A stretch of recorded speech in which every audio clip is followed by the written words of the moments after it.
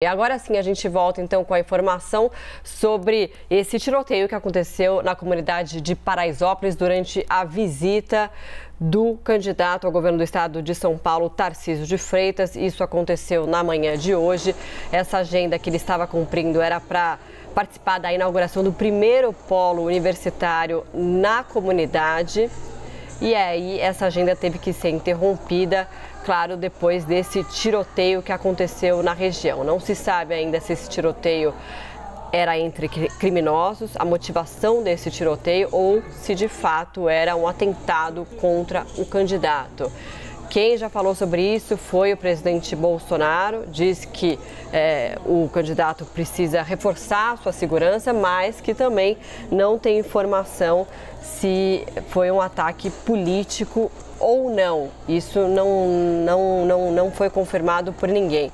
Augusto Heleno, que é ministro-chefe do Gabinete de Segurança Institucional da Presidência, falou que uma pessoa que participava desse tiroteio foi presa. Essas são imagens de agora há pouco da comunidade Paraisópolis, na zona sul de São Paulo. Uma comunidade que é muito movimentada, as ruas da comunidade são muito movimentadas porque ela é uma cidade gigante, tem mais de 100 mil habitantes, então funciona comércio, tem banco, tem de tudo aí. E, claro, a população atenta ao que aconteceu. A gente viu uma situação agora há pouco também de bastante tensão, de pessoas correndo.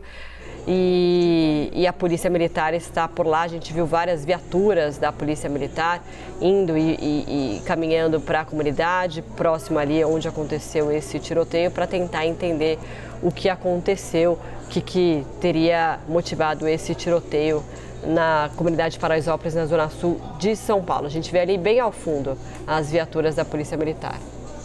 Inclusive, nós temos aí uma imagem que registra um dos barulhos né, desse tiro, de um dos tiros que foram lançados ali. Vamos ver.